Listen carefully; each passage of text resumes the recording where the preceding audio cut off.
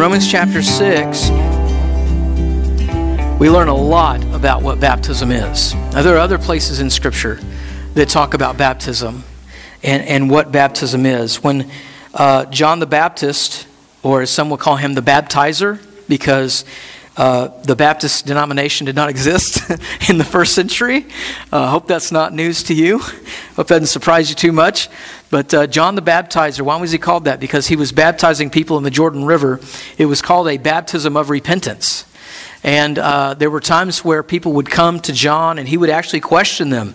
There was a group of Pharisees that came to, to be baptized, and he asked them questions like, he asked them, he says, because he knew who they were, he knew the way they were living. He was like, Who warned you? He calls them a brood of vipers, a bunch of baby snakes. He says, You baby snakes, who warned you of the coming wrath? And then he says, uh, And don't say to yourselves, Well, we're sons of Abraham. He says, For God can from these stones raise up children of Abraham. Right? That's how election works. That's how being chosen works. God chooses who he wills. Right? It's not up to man who wills or runs, but God who has mercy. And so John says to them, if you come to be baptized, that's, that's fine and good, but you need to bear fruit in keeping with repentance. There is a way that you ought to live now that you have been baptized. And so uh, we baptize people who present themselves, who say, I have come to faith in Jesus Christ. I am making a public profession of faith in Christ, and I desire to be baptized as a sign, an outward symbol of an inward change. This is what has happened in my life. Jesus has saved me. And in the same way that Jesus was crucified, dead, and buried, and rose again, so I have identified with him in his death, and also I am identifying with him in his resurrection. And so the Bible teaches us about baptism, the way that we are to baptize, the people that we are to baptize, the way that when we're baptized, we are to think about our new life in Christ. And so I hope this is encouraging to you. It may be challenging to you, but I hope most of all that it just undergirds and supports, Jayla, what you are doing today in being baptized before this body and before the Lord and before the world. Baptism is a picture of the resurrected life, a life that has been buried with Christ and risen to new life. In Romans chapter 5, Paul gives great news. he says in Romans 5 8, one of my favorite verses of all Scripture, but God demonstrates his own love toward us in that while we were yet sinners, Christ died for us. I love that verse. It means so much to me. It reminds me of the way that I am who I am today. It's because of what God has done, it's not because of what Luke has done. I have done nothing in view of what God has done for me in Christ. And the awesome thing is, it's not that, it's not that the gospel says that God did these things for you because you tried really hard or you did a lot better in this new phase of your life. I hear people all the time talk about baptism this way. Well, I'm turning over a new leaf. I'm kind of hitting the reset button, kind of like a New Year's resolution, right? I just, I just really think I need to be baptized. I think if I can be baptized and kind of start over, I can do better. That's not what baptism is. You can't start over, right? We all have a record, we all have a past, right? You're going to have to you're going to have to live with that, but you can live with your past. You can live with your record knowing that Jesus died in your place and he paid the price for all of that sin. For whatever is on your record. But I love verse 8 in Romans 5 because it says that it wasn't while we were righteous. It wasn't while we were doing a little bit of a better job. It wasn't while we were progressing. We just hadn't made it across the finish line yet. What does it say? While we were yet what? Sinners. While we were yet sinners, Christ. Now let's just take that for a moment. Christ, who is he? He's the spotless, sinless Son of God. Never did wrong. perfect, holy. He's the one, the Bible tells us in Romans 11, through which everything that you see, everything that was created, it was created through Him, it was created by Him, it was created for Him. You get that? The Bible tells us in Philippians 2 that one day, even though every knee is not bowing today, one day every knee will bow, every tongue will confess that Jesus Christ is Lord. Because this is all for Him. It all belongs to Him. He has rights over everything. He has a right over your life, whether you acknowledge it or not. There are two types of God's sovereignty that Scripture talks about. One is His absolute sovereignty. The nations rage. People live however they want to, but God has, through Christ, an absolute sovereignty over this world. And then there's an appropriated sovereignty. There is the, the souls in this world who have lived from the time of creation to the time of Christ's return, who chose, who chose to bend their knee in their lifetime and say, You are my Lord. I am giving, I'm surrendering everything to you. I'm no longer in charge of my life. I'm no longer the boss. I'm no longer calling the shots. You are. I submit myself to you. I give my life to you. That's appropriated sovereignty.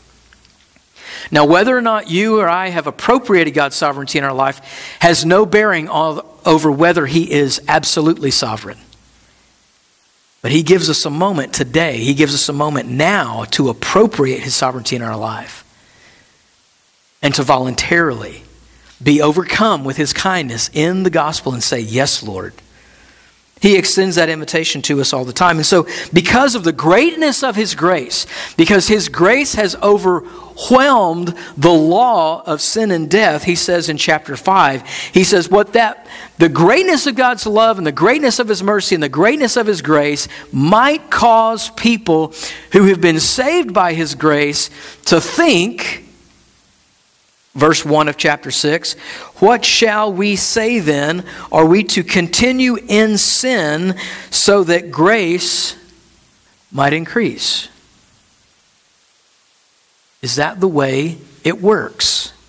If God's grace overcame the law, if God's grace overcomes our sin, should we continue in sin so that if sin increases in our life, grace increases even more. Paul says in the Greek, me genoito, it's emphatic. Heck no, I'm cleaning it up for you. If he could have said that, he would have. He said, May it never be. That's what my New American Standard Version says. Verse 2 May it never be. No. There, there is no case, there's no case in which a born again Christian would think that now that I'm born again, now that I'm covered by God's grace, I should continue to play with sin, to meddle in sin, because I know God's grace has got me covered. There's not a single believer who should live that way, he says here. May it never be. May it never be. And then he reminds us about the spiritual truths behind our baptism. Behind being buried, being immersed in the water, and coming up again. He says in verse 2, if you notice, may it never be, how shall we who died to sin still live in it? Now we're going to read all the way through verse 14. Or do you not know that all of us who have been baptized into Christ Jesus have been baptized into his death? Verse 4. Therefore, we have been buried with him through baptism into death, in order that as Christ was raised from the dead through the glory of the Father, so we too might walk in newness of life. For if we have become united with him in the likeness of his death, certainly we shall be also in the likeness of his resurrection. Knowing this, that our old self was crucified with him, that our body of death might be done away with that we should no longer be slaves to sin.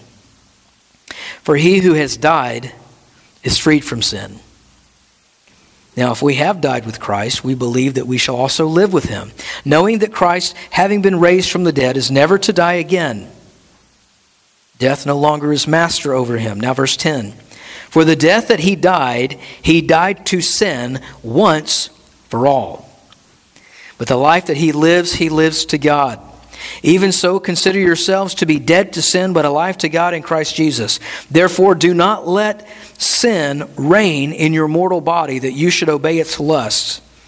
And do not go on presenting the members of your body to, to sin as instruments of unrighteousness, but present yourselves to God as those alive from the dead, and your members as instruments of righteousness to God.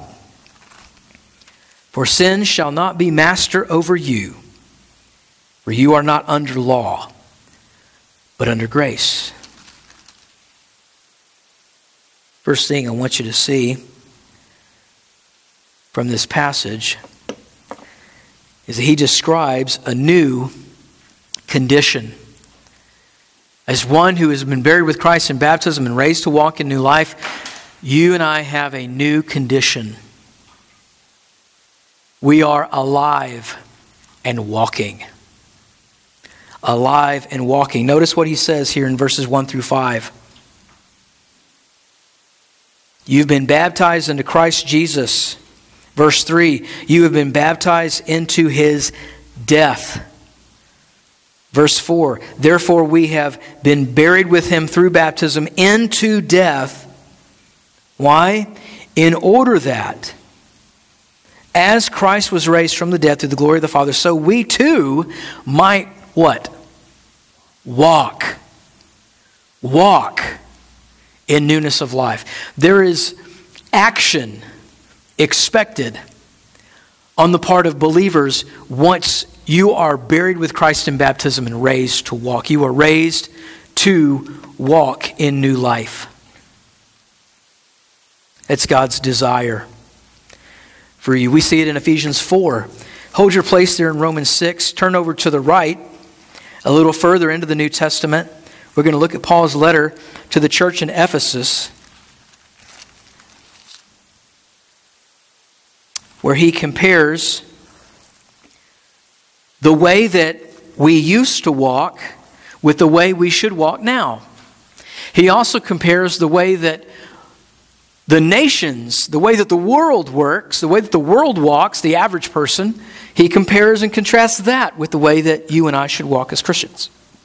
Now, starting in verse 17 of Ephesians 4, he says, This I say, therefore, and affirm together with the Lord that you what?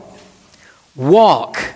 That you walk no longer as the nations also walk in the futility of their mind that is, their worldview is so jacked up because they don't know Jesus that they just continue to live by the same morals, the same ethics, the same everything that the world does because they haven't been changed. Not only have they not been changed, he says later on in verse 20, well, let's just, let's just go to verse 18. Being darkened in their understanding, talk about the, the nations, the world, excluded from the life of God because of the ignorance that is in them, because of the hardness of their heart. Their hearts haven't been pierced by the gospel. And if your heart hasn't been pierced by the gospel, if, if, if you see Jesus hanging on a cross and you say, nah, I don't need him, doesn't affect me. Knowing that God sent his only son to die on the cross for me does not affect me. If that doesn't affect your heart, guess what? Your mind will never change. When we're praying for our loved ones who don't believe in God and we think, oh, they just got it, they just got it up here. They got it up here wrong. No, it starts here. And then once you submit to the Lord, He gives you understanding in time. That's how it works. But Paul is not talking to the nations, he's talking to the church, he's talking to believers, those who have been baptized. And he says, You're not like the nations. You shouldn't walk like them. You're not darkened in your understanding anymore. Your heart, your heart is not hard anymore. You've been softened by the gospel. You now have new understanding of what life is all about. Verse 20 You did not learn Christ in this way, if indeed you've heard him and have been taught in him that in reference of your former manner of life, you lay aside the old self, which is being corrupted in accordance with the lusts of deceit. You be renewed in the spirit of your mind, he says in verse 23, and you put on the new self, which in the likeness of God has been created in righteousness and holiness to the truth. He goes on To say, those of you who, who, who used to steal, don't steal anymore. Those of you who used to cheat, don't cheat anymore. Don't continue to live the way the world operates. You've been changed in the heart and in the mind. And then he says in chapter 5, verse 1 Therefore, be imitators of God. Imitate God. I meet people who are like, Yeah, I don't want to get too serious about my faith, you know, reading the Bible and like, you know, being all crazy, praying. The Bible's pretty clear. you should want to be as much as you can like Jesus. That shouldn't scare you. And if people don't like you because of that, because they're like, oh, you're all holier than thou, so, yeah, I'm, I am. Yes, I'm trying to be holy like Jesus. I'm trying to be set apart, and it's a battle for me. And I don't think I'm better than you. No, because I can go back to Romans 5 8 again. It was while I was still a sinner that Christ died for me, and I'm still a sinner today. Amen? But I walk by his grace through faith. Be imitators of God, the Bible says. And then he says this this is really going to set your hair on fire if you have hair. Verse 10 he says, trying to learn what is pleasing to the Lord. Do you see that? This is the way you and I should live as believers, trying to learn what is pleasing to the Lord. Some may say that's holier than thou. Okay, whatever you want to call it, but I'm going to try to live in a way that pleases the Lord. There's a new walk that is expected of you and me when we see and behold Jesus hanging on a cross, that God Himself would come down in the flesh, would condescend so lowly just for me and just for you, sinners. He died on the cross for us. Can we not put one foot in front of the other for Him and live unto Him? and try to learn what is pleasing to Him, try hard to know what is pleasing to Him. That should be the entire focus of our life, not to just have a relationship with God on the side and then live my life in a way that pleases me. That is not the Christian way. That is not the way of Christ. There's a new condition alive and not sitting, not being lazy, not being ignorant, but alive and walking, purposeful, trying to please, trying to learn what is pleasing to the Lord. Secondly, there's a new identity. A new identity. We are no longer slaves. You get that? We are no longer slaves. Verse 6 through 11. We walk in a new way, in the way of his resurrection, knowing this, verse 6, knowing that our old self was crucified with him. Paul says in Galatians 2:20, "For I have been crucified with Christ; it is no longer I who live, but Christ who lives in me. Our old self was crucified with him that our body of sin might be done away with. Do you get that? In the, in the Greek, these are called hina clauses. In order that, in order that. They're just, they're like links to a chain that connect one thought to another. This happened so that this, or in order that this thing. Do you notice it there in verse 6? Our old self was crucified with him that our body of sin might be done away with. There is purpose in this truth. Amen? That we should no longer be what? Slaves to sin. Before Jesus, before the Holy Spirit comes into our heart and changes us and radically transforms our life, we are slaves. We're slaves to sin. Before the gospel opens up our eyes and illuminates our spiritual sight, we are slaves. But once we are in Christ and our eyes have been opened and our hearts have been changed, we are no longer slaves. We have a new identity. Verse 7 For he who has died is freed from sin. Freed from sin. Now, verse 8, he says, If we have died with Christ, we believe that we shall also live with him. Do you see that? When we're buried with Christ in baptism, we're raised to new life. We demonstrate that truth that we now have life everlasting. Jesus is never to die again. He died once for all sins. And when he rose again, the Bible says he was declared the Son of God with power. That means that let everybody be assured who's ever lived and who will ever live on the face of this planet who've been affected by sin. By the way, that's all of us. Jesus rose again. That means he's, he's not like us. he's sinless. He defeated sin, he defeated death, and he will never die again. Death is not master over him. And for all of those who've been buried with Christ and raised to walk a new life, we have that same relationship to sin that He has. We still struggle with it because we're not like Him in that way, but we're no longer slaves to sin. Verse 9 Knowing that Christ, having been raised from the dead, is never to die again. Death no longer is master over him. For the death that he died, he died to sin once for all, but the life that he lives, he lives to God. Even so, consider yourselves to be dead to sin, but alive to God in Christ Jesus. You're no longer a slave. You say, well, that, that sounds good. But man, it is hard to live the life of a believer and not feel like I am a slave to my sin. I keep doing the same things. I have the same weaknesses. I have weaknesses that other people don't have. I have temptations that other people don't have. You, you don't understand my battle. I may not understand your battle. People around you might not understand your specific temptation, but it doesn't matter what your weakness is or what the sin is that besets you on a regular basis, the Bible is very clear, brothers and sisters, that Jesus died and rose again and is victorious over everything. And you have been freed once and for all of your sin through faith in Him.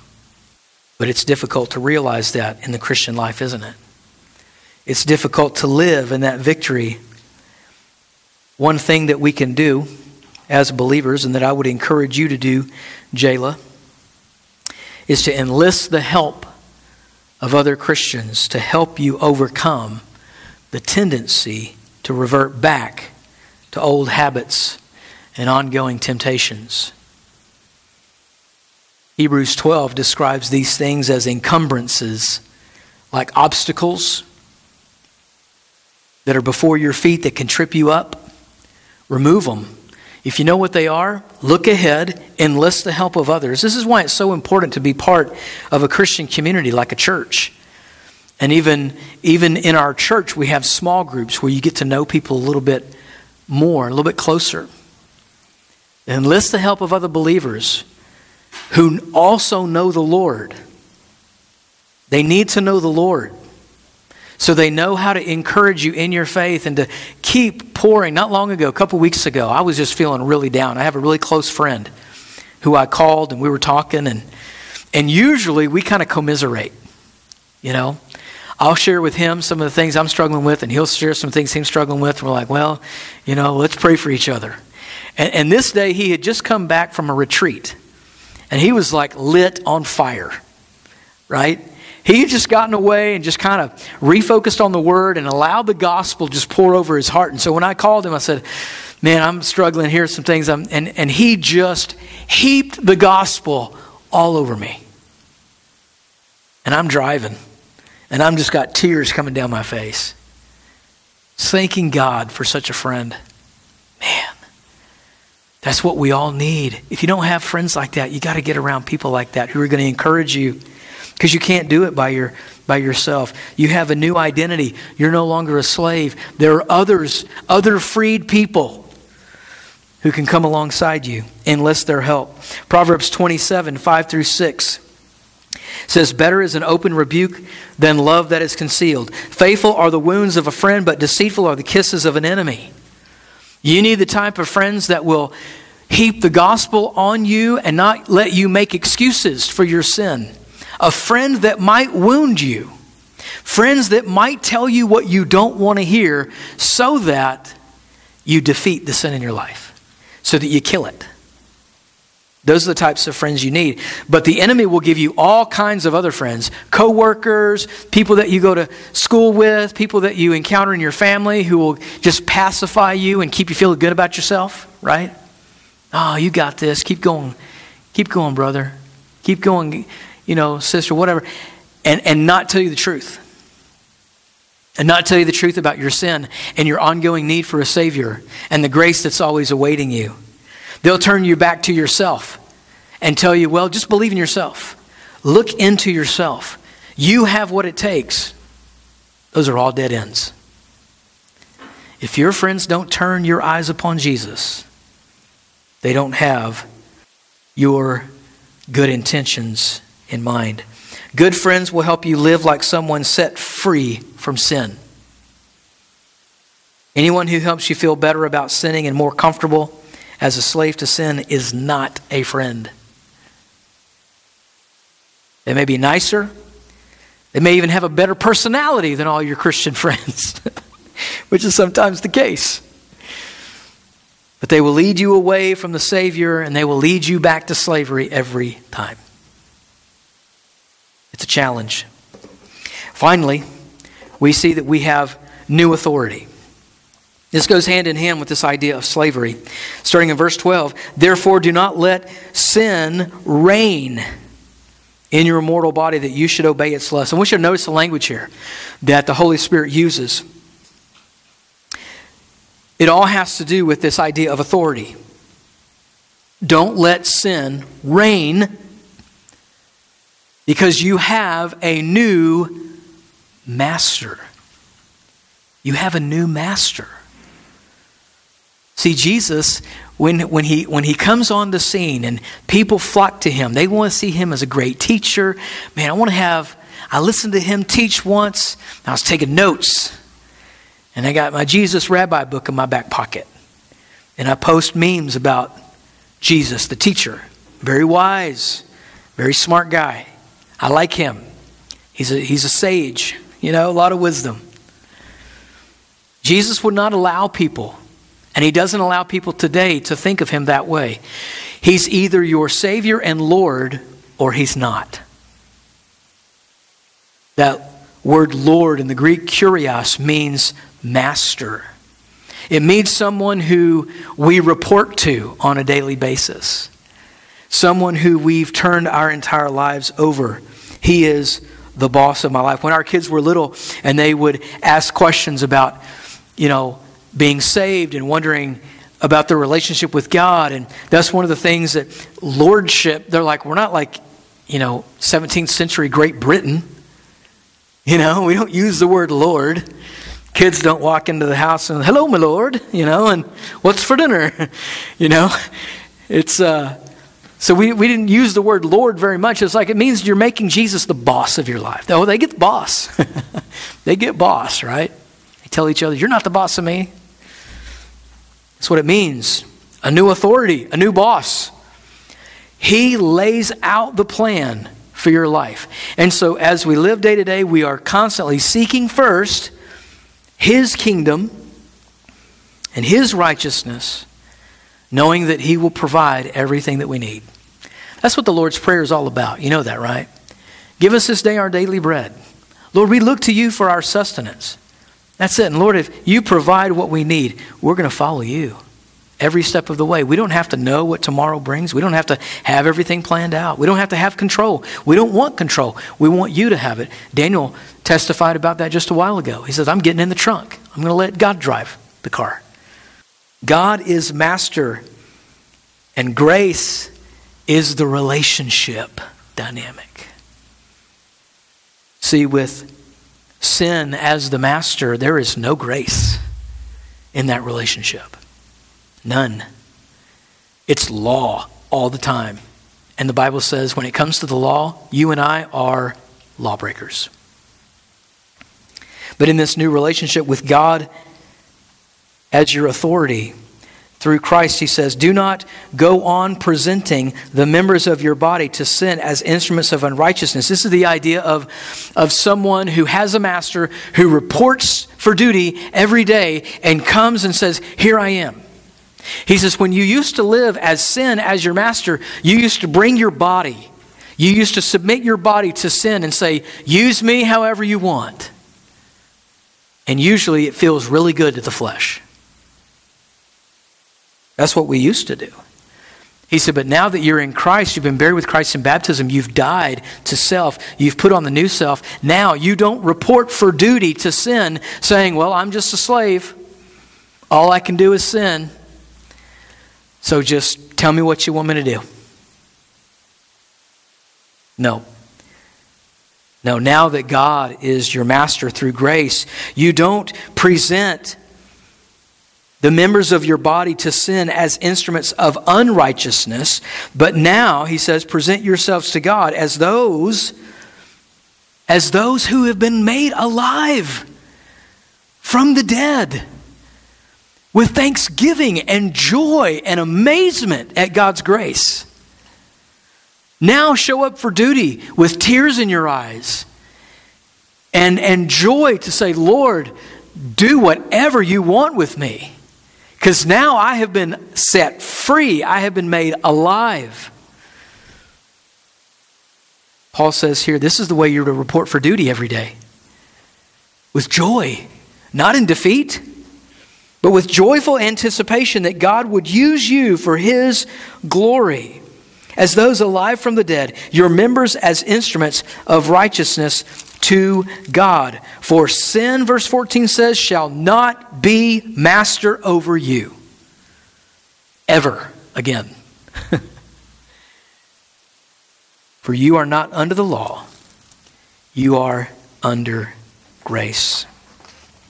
Galatians 5 1 says, Brothers, it is for freedom that Christ has set you free. Live in that freedom. Allow God's grace, submit yourself to the Lord, and live in such a way that is reflective of the great grace by which you have been saved. Amen.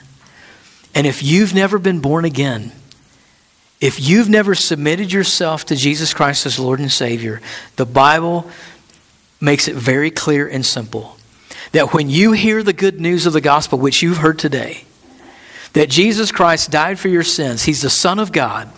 He died on the cross for your sins so that you might have life eternal, that you might be freed from your sin. It's all by grace through faith. If you believe in Christ as Lord and Savior, God will save you. If you're willing to say, I'm done, I'm done with the slavery to sin, I'm done with the world, I'm done. I, I, I'm maxed out.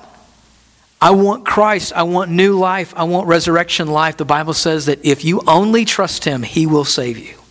There's nothing else that you can bring to the table. It's just to receive that free gift of eternal life. And you can do that today. I invite you to do it as we pray. We're going to pray in just a moment. And then we're all going to head outside. I think the baptistry is ready. Water's been baking in the sun a little bit.